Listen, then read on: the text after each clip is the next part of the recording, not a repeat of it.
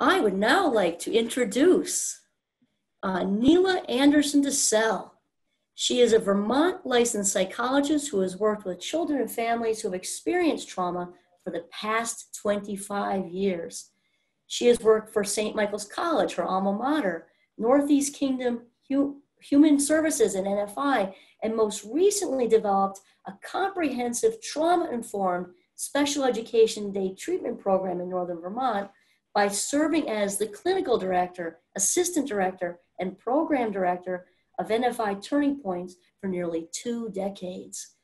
Currently in private practice in Newport, Vermont, Ms. Anderson DeCelles offers trauma informed, client centered care to support healing via expressive therapies, somatic work, cognitive behavioral therapeutic work, insight oriented work, and psychoeducation around the neurodevelopmental impact of trauma upon human development. Ms. Anderson DeCelles speaks on the topics of trauma informed care, self care and human development for educators, treatment providers, and organizations. I would now like to welcome Neila Anderson DeCelles. Take it away. Thank you so much, Kim. I am so grateful to be with you all here today, and I would like to extend a special thank you for the professions that you've chosen in general and for the ways you've chosen to use those professions in particular in the last four and a half months.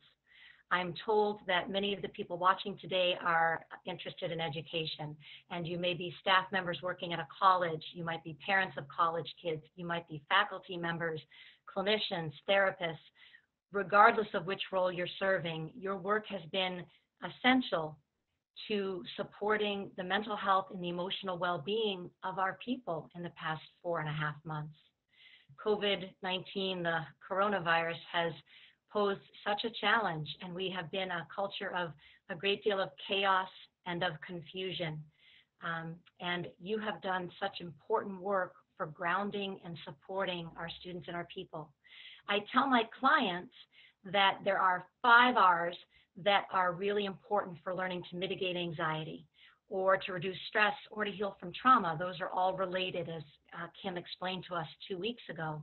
And those five R's are relationship, rhythm, reliability, resiliency, and revision. And you have provided those four, those five R's in the last four and a half months. You've provided relationships via Zoom, maybe by email, maybe by Google Classroom, by a phone call to your students and to one another. You've provided rhythm in a time when everything has been so unpredictable and so out of order. You've been reliable. When you say you're going to show up, you do, and, and you're something somebody can count on. When we first had to switch immediately over to telehealth from face to face health, almost every single one of my clients asked for the same time and day for their appointments. And it helped me to realize how important having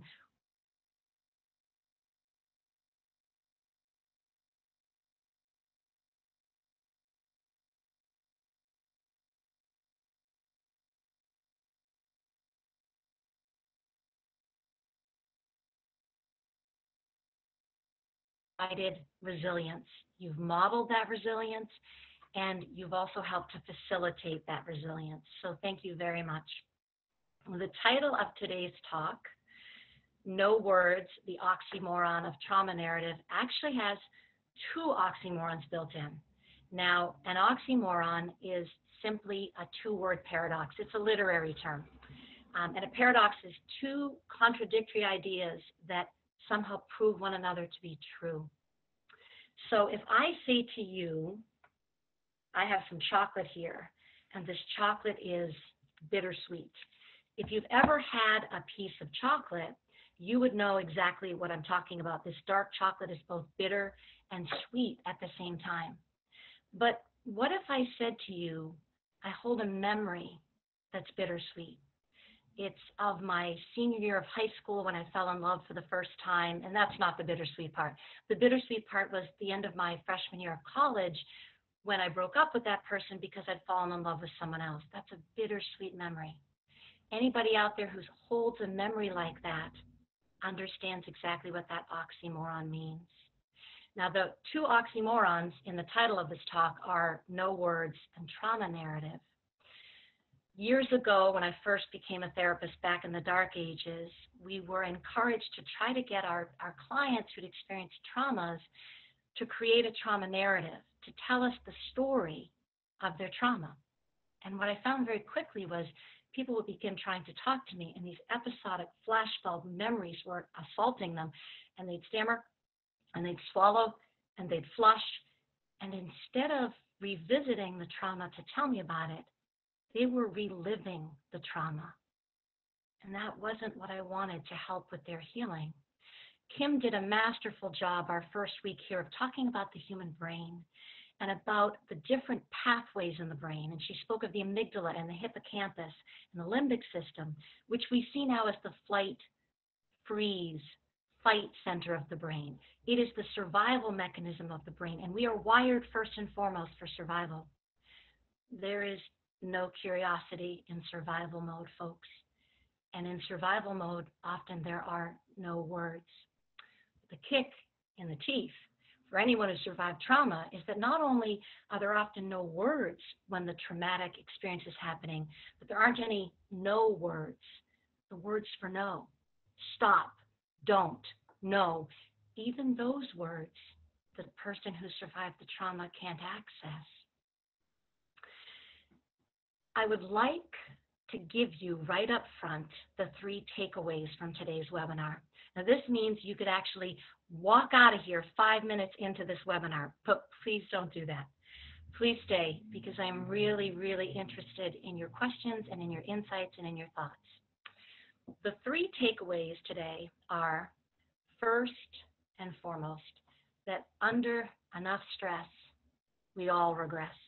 Doesn't matter if we're male or female, if we're straight or gay or transgendered or bisexual, old or young, what our race or our creed, our color, none of that matters. Under stress, we all regress. If we were live, and I get that we're live, but it's so weird because I can't see any of you. So I'm trying to imagine looking at all of you. If we were in a room together like before COVID, I would show you an orange and a lemon. And I would hand some of these out to the people in the audience.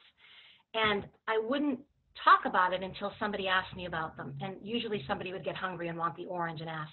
So please, somebody out there, if you could remember to ask a question about the orange and lemons and how that relates to how under stress we regress, that would be fantastic. The second takeaway is that every person's life should be worth a novel, a painting, a song, 10 sonnets, a play, or as a boy who I will call Benji, who was in a uh, therapeutic group I ran many years ago, once said when we were studying poetry and we were writing haikus, Neila, shouldn't my life be worth at least one fucking haiku? Just one fucking haiku, Neila? Every person's life should be worth a novel because every human life is a work of art. But most of us don't have novels written about us or songs composed for us or sonnets. Or do we?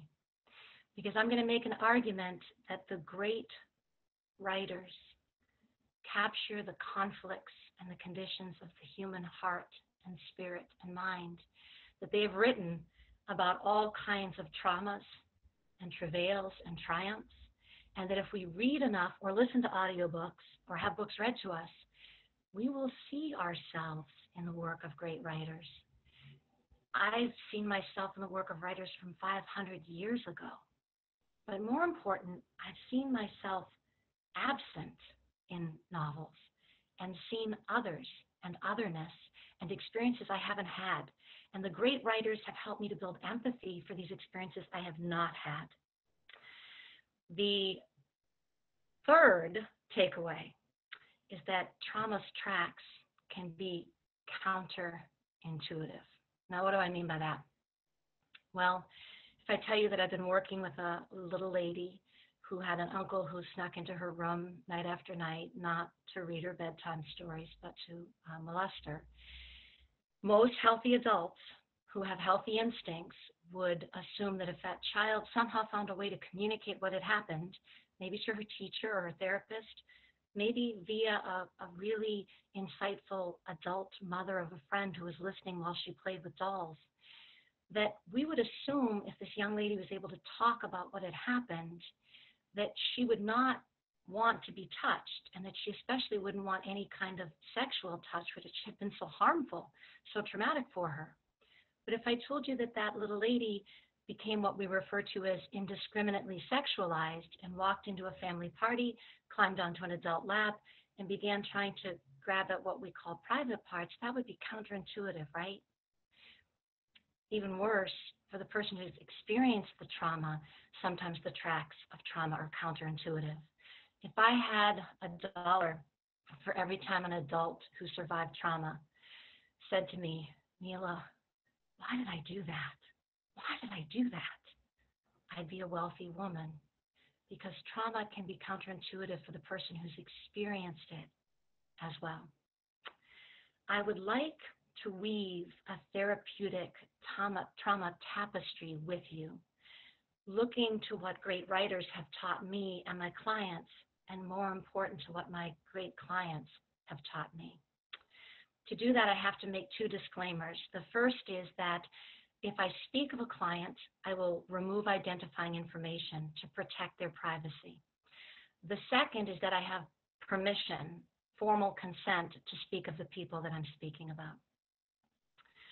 In my line of work, sometimes when we speak of clients, those are referred to as case studies. My clients will never be my case studies. They are some of the bravest, humblest human beings I've ever known. They come to me with their hearts in their hands, with their terror, with their worry, with their rage, with their fear, with their confusion, with their loneliness. And they ask me to hold those things. And I need to remain ever hopeful of their healing. I don't ever heal a client. I walk alongside that client as they journey toward healing.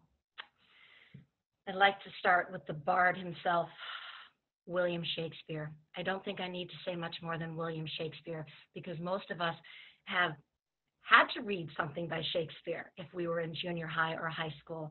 But I hope some of you will read some of these if you haven't because you'll be interested in them.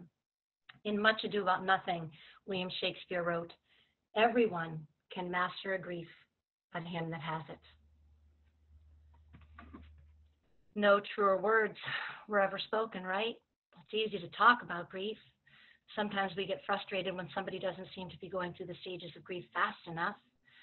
It's easy to objectify grief. But if you've ever experienced a serious grief of your own, you know that it's like walking along the ocean with a memory that looks like a perfect sunset one minute. And then the next minute, you're flat on your stomach, the wave took you, you're chewing sand, and you've got rocks up your nose. That's how grief works, and Shakespeare understood that. I would like to introduce you to a young lady named Cordelia. Now, Cordelia is a character in the play King Lear. Um, Cordelia is one of King Lear's three daughters, and she is the daughter of his heart. She is a daughter with heart. In fact, the Latin root for heart is embedded in her name. Cordelia came to me by way of three different referrals.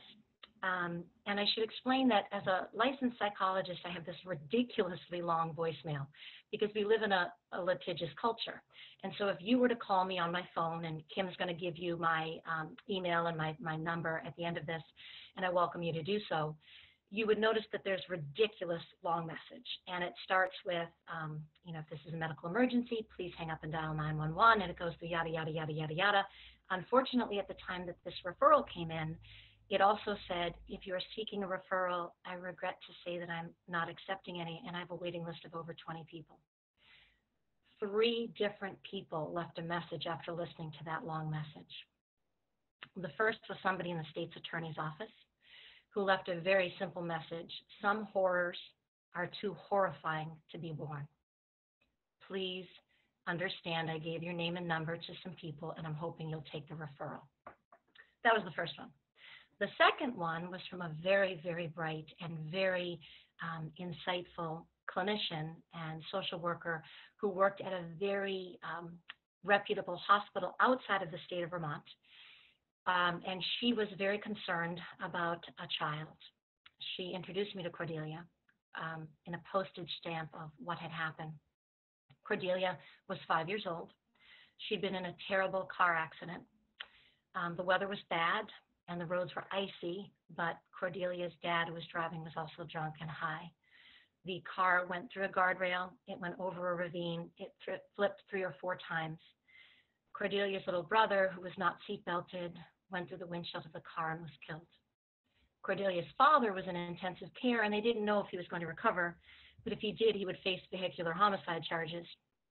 Cordelia somehow crawled out of the window of the car and was found wandering on the highway, covered in blood because she ended up with her own injuries, and she had no words. The third referral was from Cordelia's mom, such a humble woman. And she said in this voicemail message, I have experienced trauma. I lived in foster care for good reasons, and I think my daughter's experienced a terrible trauma of a car accident, and I'm scared. Could you help her? Well, knock and the door shall be open to you. Persist without exception. I brought her in. And she sat down on my couch. I'm in my office right now, so she'd be over here on my left.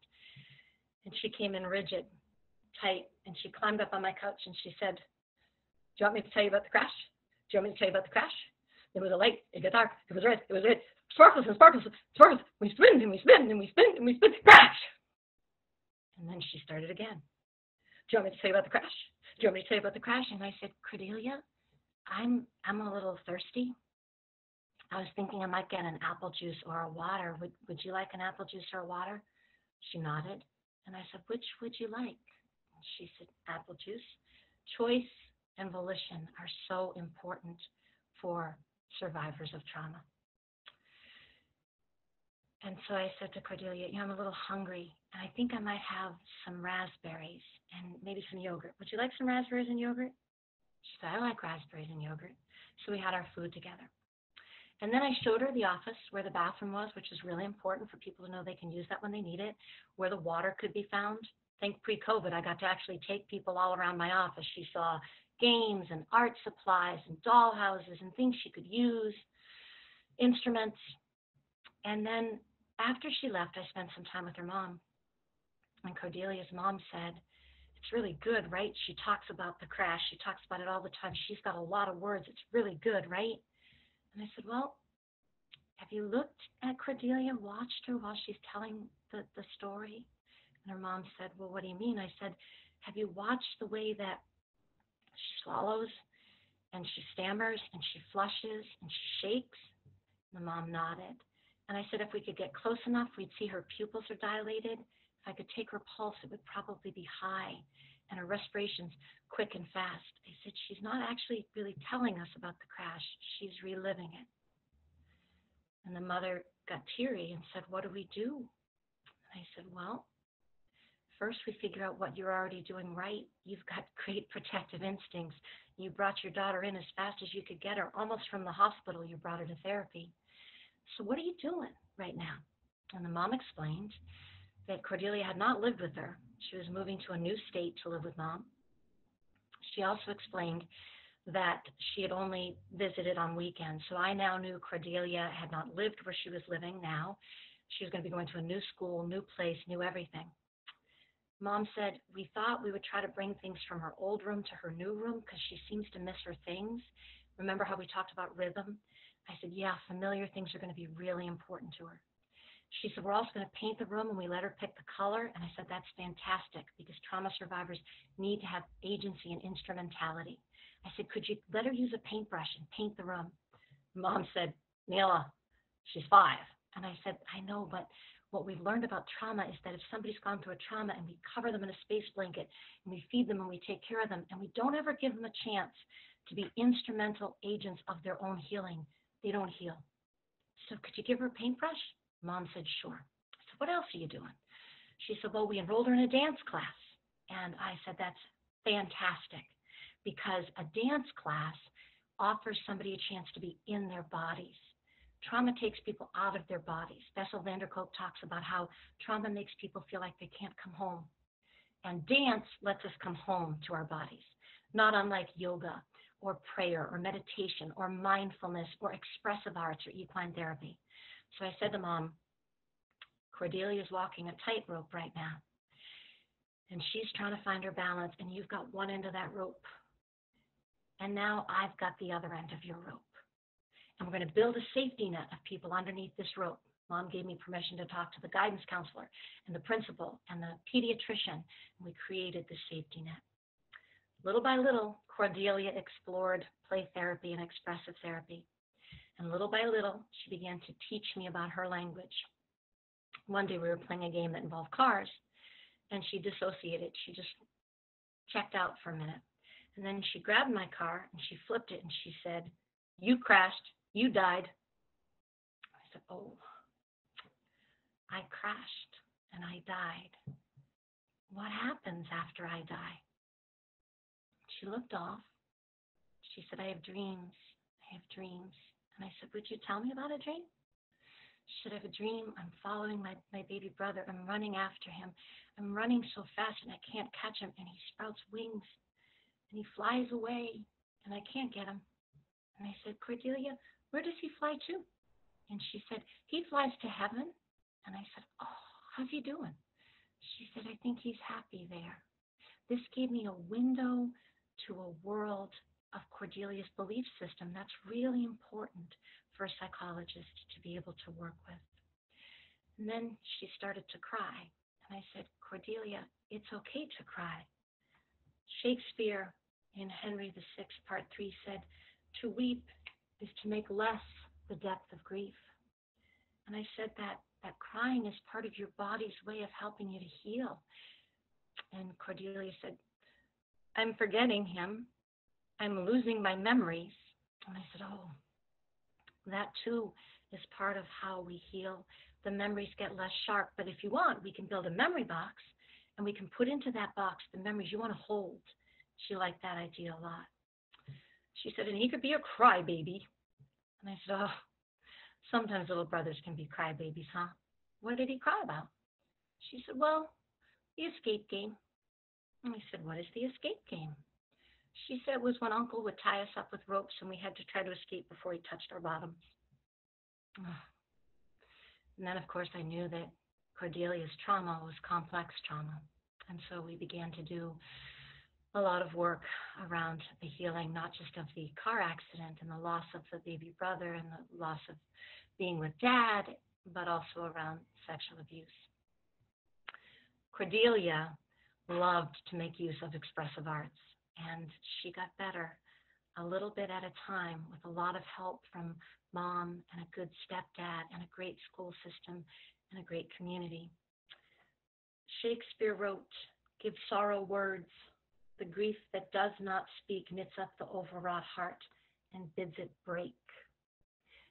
She had begun to find her own words, not the trauma narrative, her words. I'd like to use Shakespeare to transition to another writer who's had a profound influence on me and, and on clients I've worked with, and that's William Faulkner. Um, I'm going to use a passage from Shakespeare to transition, though, and it's probably one of the best known passages from Shakespeare. Out, out, brief candle. Life is but a walking shadow, a poor player that struts and frets his hour upon the stage, and then is heard no more. It is a tale told by an idiot, full of sound and fury, signifying nothing. That is from the sound and the fury now, I'm sorry, that is Shakespeare's comment, but William Faulkner wrote a book called The Sound and the Fury that was probably influenced by that passage. And it is a tale told by a young man named Benji who has profound learning challenges. Sadly, um, in Faulkner's time, the, the term sometimes used for people with learning challenges was idiot, not a term we would ever, I hope, use now. Benji who is the central character or one of them in The Sound and the Fury by William Faulkner, came to my care um, via referrals from very worried principals and teachers. He had been in 16 foster homes. He'd been in 12 schools. He was a freshman who could not read or write. He had profound learning challenges that had not been diagnosed, probably because he'd been in so many schools and moved around so many different times Benji had a charismatic personality and the capacity to turn a classroom on its ear. He learned that if he couldn't do what he was being asked to do, he could get people to laugh. Um, and when frustrated, he could become pretty aggressive because he didn't have words to be able to tell people what he was feeling. Benji was in a therapeutic group that I ran many years ago. And when I ran therapy groups, I tried to have them be pertinent to the kids I was working with. So I would get to know these kids first. So I went into a staff meeting and said, I would like to do a philosophy slam with this particular group of boys. And one of my coworkers who became my co-facilitator said, Neila, these are fellows who call women see you next Tuesdays. They punch holes in walls. Some of them have charges pending. Philosophy? And I said, yeah, philosophy. These kids are so close to the epistemological questions. Things like, who am I? What am I here for? Why do bad things happen to good people? Is it true that life sucks and then you die? Do I want to be? Do I not want to be? They they get philosophy. I just have to help them to link to it. So I needed a hook. So the hook I used, um, the kids wanted to play me songs all the time, and a lot of the songs had explicit lyrics. So I went into the group and I said, I'd like to run a group where you bring me a song and I listen to it. And they said, Any song? I said, Yeah, any song. I said, But the catch is, I play you a song that I think is linked to your song, and it'll be from another time. And then I'm going to present two different philosophers, and you're going to look at your song my song, and we're going to talk about which philosophy is really in this music. So Benji brought me Eminem's song, Cleaning Out My Closet. It's a hard song if you haven't heard it. Listen. I matched it to Bob Dylan's song, Mama, I Ain't Even Crying. And then we talked about Sartre and Nietzsche. And it was an amazing, amazing philosophy slam. Sometime later, um, I needed to run an anger management group. Now I have a question for you. You can't answer me, but have you ever known anybody who willingly signed on for an anger management group? The only time I ever had anybody willingly sign on for an anger management group, they wore a T-shirt that said, "My anger management instructor is really pissing me off." So I had to find a way um, to get these kids into anger management um, and not have it be an anger management class. So I thought I'd like to do a dream uh, class on nightmares and daydreams. Many of the kids I worked with had terribly disrupted sleep, which is, of course, one of the fallouts um, of the neurological cascade of ramifications of trauma. Disrupted sleep, trouble falling asleep. People who've experienced complex developmental trauma often have very um, quick resting pulses. Uh, Benji's resting pulse was 120 beats a minute. So long before he got distressed in a classroom or distressed by um, an environmental stressor, his heart rate was way up there. And he didn't sleep well, and he had talked to me about that. So I used this vehicle called the Pop Up Book of Nightmares, which sadly is out of print. This fabulous book that popped up three feet high and had the dozen most common nightmares in America. Benji would walk around it and just shake his head like those things weren't nightmares at all, because his nightmares were so much worse than the pop up book of nightmares. But to sort of help these kids to begin to recognize that there are the things we can't control and the things we can, we were also doing a piece on daydreams. And we had agreed um, we would make the daydream of each member of the class come true if it was reasonable. So one boy wanted to take people fly fishing. He's a big fly fisherman. Fly fishing is a fantastic emotional regulation. You're out in nature, the sound of the river, 10 o'clock, 2 o'clock, 10 o'clock, 2 o'clock, casting and reeling. It is fantastic regulation. We made that happen. Um, one of the boys wanted to teach us to cook uh, Chinese food. We made that happen.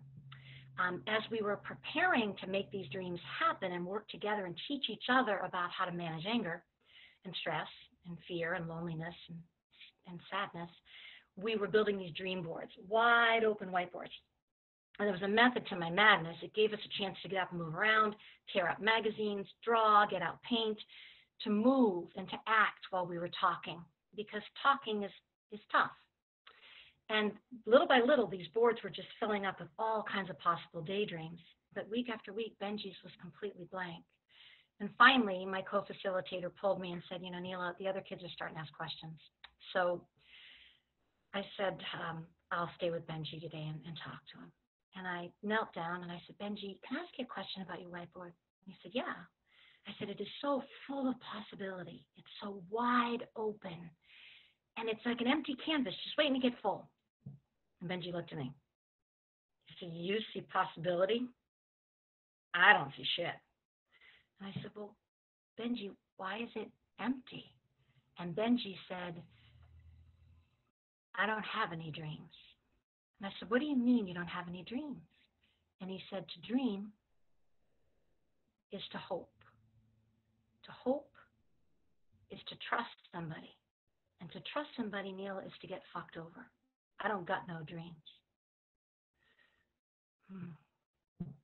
We needed to find a way to help Benji to realize that he, he did have a dream, to dare to have a dream. So I stopped him one day and I said, Benji, I've got this idea. I want to try something with our group today, but I'm really scared. And he said, Why are you scared? I said, Because I think people are going to laugh at me. And he said, Well, what are you going to teach us? I said, I'm going to try to teach us about a way that we can help ourselves fall asleep at night. And he said, I don't sleep for shit. I said, Well, it might help you too. And I, I said, But I really need your help. And he goes, What do you mean?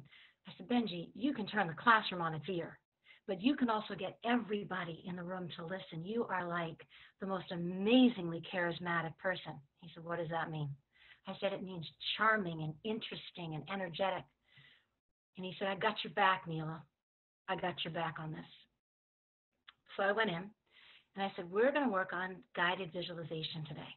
And the snickers started. And Benji told them in no uncertain terms to shut up in a more colorful way than I just did. So we're going to listen to Neila. We're going to try it. Now, I had the advantage of knowing that these boys loved the woods. None of them had bad associations with the woods. In fact, two of them slept in the woods in the summer in tents to get out of their homes. And I knew the rhythm and the repetition of nature that helped to nurture these kids' hearts and minds and souls. So I did a guided visualization through the woods. And as I got toward the end of it, I could see that Benji's eyes were closed. And you could have heard a pin drop in the room. And he said, Neila, I just wished I could take you home with me. And you could do this thing. Because I think maybe then I could fall asleep. Nobody laughed.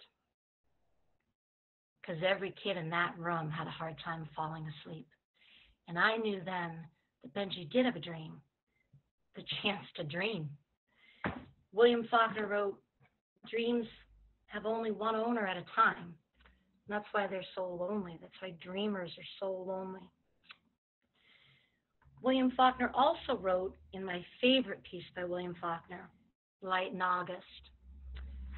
It is because so much happens, too much happens. That's it.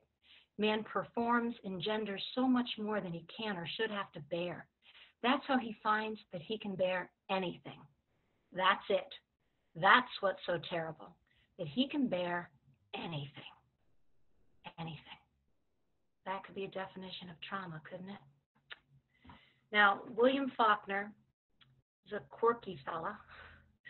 Um, it's reported that on his honeymoon, his bride had to be fished out of a pond because she was trying to drown herself because he was so busy being drunk and writing The Sound and the Fury.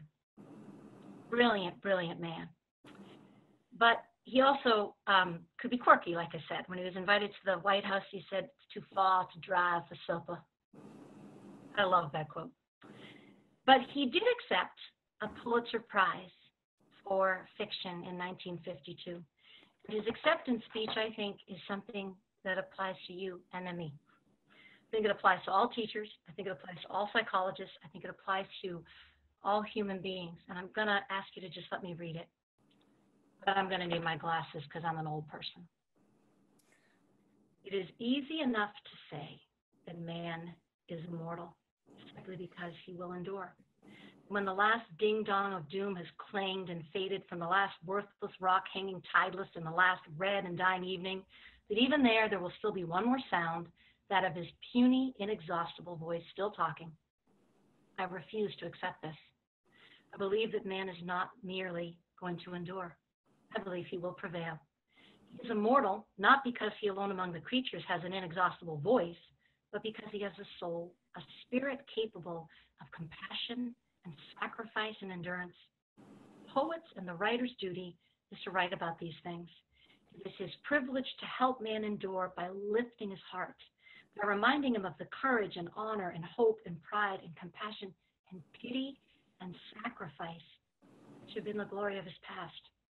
The poet's voice need not only be the record of man, it can be one of the props, the pillars to help him endure. So my hope is that we will be pillars who help one another to endure. Thank you. Fantastic, Neila. Wow. Just uh, just a fantastic continuation of the conversation with stories and just so different and amazing. I you had me in a bunch of different places and it's just all so good. I love the bittersweet chocolate thing and I mm-hmm. loved using stories. Neila loves stories and they just a fantastic way to relay um, messages. So one thing right off the bat, a few questions here. Um, there was a the computer actually held out. There was one tiny little like three second hiccup in the beginning. So you had several people wanting to know the answer when you did the lemon, uh, the orange lemon thing.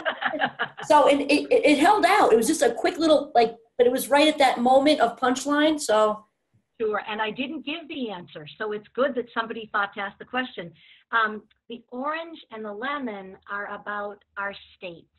Um, if I've had a really good night's sleep and I had a great day with my family, and I've had a lot of resilience and a lot of good things in my life, and you decide to squeeze me, you decide to stress me, or something decides to put stress upon me, and I'm squeezed, I'm going to give you something pretty sweet because I'm in a good space and I've had a lot of good stuff.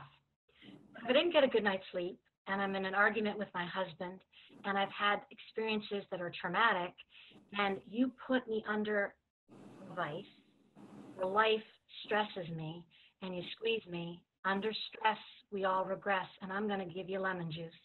And I, I suggest that we all have orange states and lemon states. And it can be really helpful to sometimes say to somebody, I'm in a lemon space right now. Please do not stand on my last nerve. Or I'm in a pretty good space. I'm in an orange space. So that's what those are about. Thanks, Kim. Excellent. I love that. Um, well, maybe I should skip to that one then. Okay. So ha- tell me or help uh, t- tell the uh, your audience um, educators mix of of also grown-ups who work with you know student life and res life and all that stuff maybe why it's important to also be aware of your your orange and lemon and why it's important to have our you know kind of nice metaphorical ways to show us our, our self-regulation is what we're really talking about right so why is it so important for RAs for whomever to kind of be aware of our own trauma since like what 60% of us have had something happen by adulthood Absolutely. I think one of the first things to remember is that, as Kim just said, most people have experienced some kind of trauma. And the reality is, most of the time, people are doing the best they can in the circumstances they're in. And if, as RAs, or if as teachers, or as, as people working in the um, lunch areas, and people working in the lunch areas can have more positive influence on students than anybody, I have to tell you. They saved my life in college a couple times. If people in these different jobs um, can ask questions, open ended questions of people, rather than making a statement. We, we offer the opportunity to learn from one another. So if somebody seems stressed, and instead of asking them to do something, we say, I'm feeling some stress. How are we doing? We offer the, the door to open on somebody being able to share with us their feelings of stress. I think when we can own our own stuff and share with our students, with our um, residential life people, with our children, how we model and take care of ourselves, they're better able to do it. My son used to be so funny because when I would be under stress, I would say, I just need a minute to do my three, four, five breathing. Breathe in for three, count for four, breathe out through your mouth to five. And he would say sometimes, Mom, I think this is a count to seven with your mouth open. go, okay, this means I must need a granola bar or something. But if we can model these things, we give our children, we give our students vehicles to use. And that's part of why I use a lot of metaphor, Kim, when I'm working with people and introduce books, because it's a lot easier to say, hey, I'm having a lemon moment than it is to say, I'm adrift. I'm lost. I'm lonely. I'm terrified. Lemon moment's a lot easier to say under stress. I would agree, Neila. Obviously, it's a fantastic metaphor. I like also, since I'm sure we've got a mix in the audience, people with kids in college or young adults in college, you probably may have an eight-year-old at home, and who knows. So it kind of that metaphor can work all the way through, which I really like. It works for families. And one person just typed that I think it was a tiny little two-second hiccup when the fourth R, the answer to the fourth R. They were. I sometimes do them out of order, so I'll just do all five: relationship, rhythm, reliability, revision, and resilience. Perfect. That's all they want to know. Excellent. You got yeah, because otherwise the computer held up. It was just at least on this end, just a couple of times. Okay, so da da da da da. Okay, so now I love so the stories in a very general sense. I think they're just fantastic ways to describe things, and again, you know, kind of works across the age range too, because you can obviously change the stories, right? How do you think um, educators and grown-ups working with students in clubs or um, within any kind of anything they're doing on a college campus um, how do you think this can they can kind of incorporate this into making like a safer classroom maybe or reaching students how can they use stories out in the trenches in the educational higher educational world how do you think they could maybe use those that's a fantastic question, Kim. And I think Dr. Dave gave us a great window to this last week when he said um, somebody had used the, the phrase, it's okay not to be okay. We need to use expressions like that in our everyday lives. And I find even when I'm doing trainings with adults, I bring in kids' books, things like The Dog Who Belonged to No One, or The Giving Tree, which I actually kind of make fun of because I look at the Giving Tree at stump level, or things like the book I'll Love You Forever, which is actually models what every kid needs. I'll love you forever. I'll like you for always. As long as I'm living, my baby, you'll be the rhythm and the continuity. But I'll talk openly about how this is every kid's birthright, but most of us didn't get it.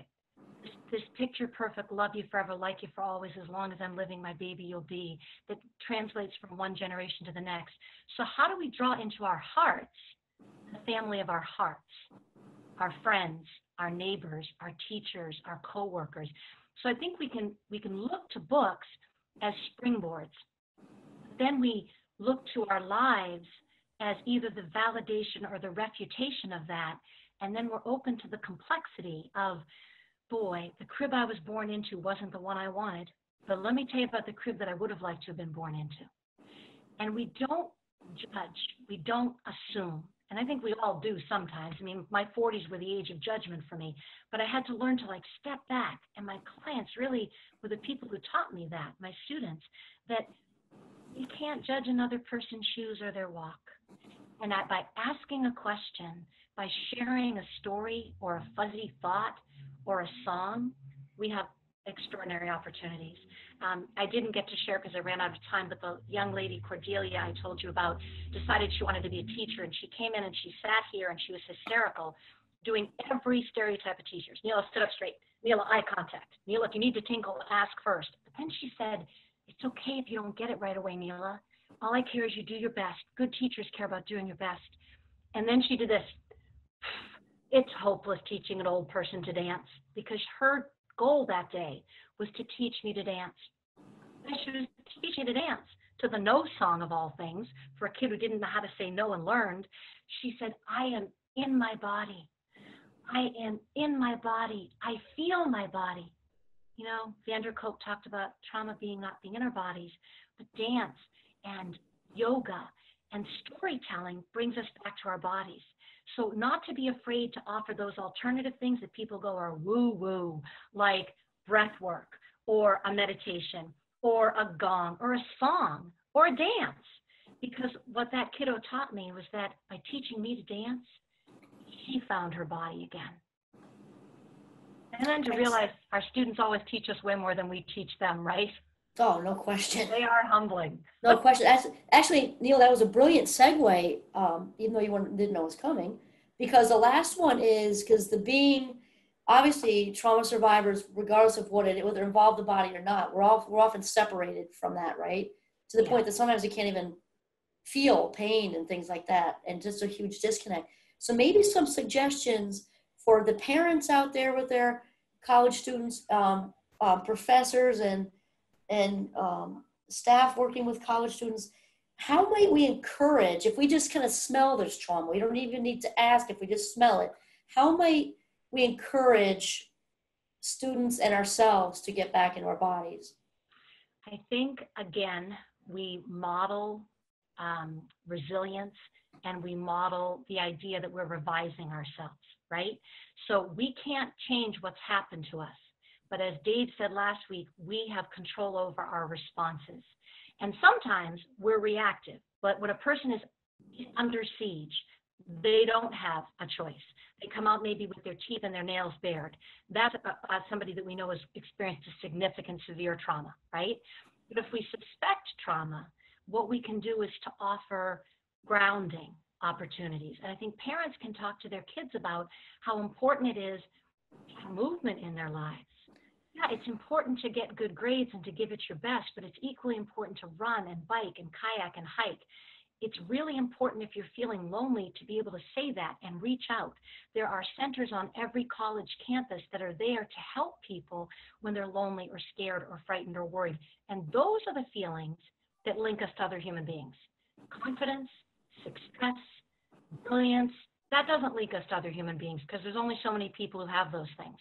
But being scared, we've all been scared. Being lonely, we've all been lonely. Being worried, we've all been worried. So being open with our kids about our own stuff and being able to say, when you go away to college, this is going to be new and it's going to put you off balance. It's going to make you feel like you're on that tightrope. So, what are the things you do to help you stay safe? Who are the people you can trust and reach for in relationships? Call your kids, send care packages to your kids. Oh my gosh, I just said call. I probably should have said email or Zoom or something that's more, you know, whatever. But stay in touch with them. And if they seem like they're pulling away from you, keep calling, keep emailing, keep Zooming, because often it's when they're pulling away that maybe there's something that's happened that they don't know how to tell you about yet. Visit them if you can in person. Encourage them to seek out counseling centers, not because there's a problem, but to make a relationship with somebody so that if they have a stressful final or they have something happen with a roommate, they've got somebody they can go to. And then I think one of the hardest things for parents to do, me included, is to recognize it takes a village to make a happy, healthy kid, right?